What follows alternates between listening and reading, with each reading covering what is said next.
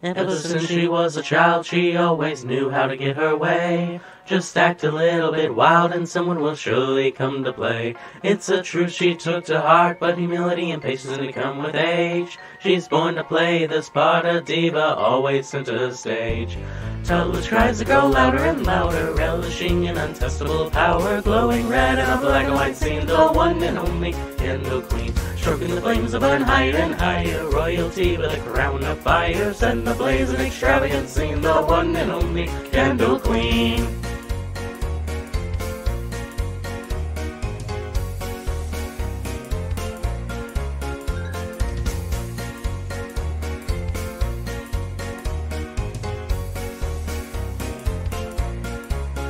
Addicted to adrenaline and always looking for attention. Thought to be so genuine when she suddenly met with apprehension. The fighting has begun and she'd do anything to get ahead, like using people as ladder rungs and sweeping eggshells under the bed. Tullus tries to grow louder and louder, relishing in untestable power, glowing red in a like and white scene, the one and only Candle Queen. Stroking the flames to burn higher and higher, royalty with a crown of fire, setting blaze an extravagant scene, the one and only Candle Queen. Oh, but there's hope for you still, before it all comes unfurled.